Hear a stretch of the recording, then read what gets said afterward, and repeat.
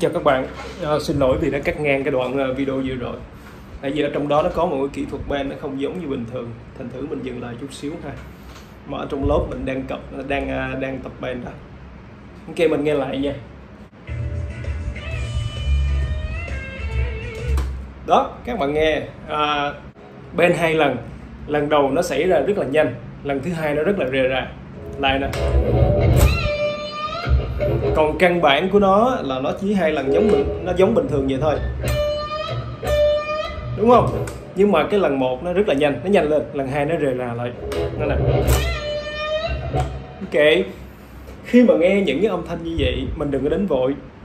Mình nghe nghe nghe và suy nghĩ về cái cách làm của người ta. Mà khi mình làm được như vậy thì cái não bộ của mình nó tự sinh ra kinh nghiệm rồi. Nó hay ở chỗ đó đó. Có nghĩa là phải hiểu được cái âm thanh đó nó vang lên như thế nào, chứ đừng có cầm cái đàn lên vội thì khi nghe như vậy thì cái não mình nó phân tích, thì nó truyền cái lực đó cho cái tay mình, cái tay mình nó sẽ làm, nó sẽ thực hiện. Hiểu được cái âm thanh đó thì các bạn sẽ làm được. Lại nè. Không? Ok, nghe câu thứ hai.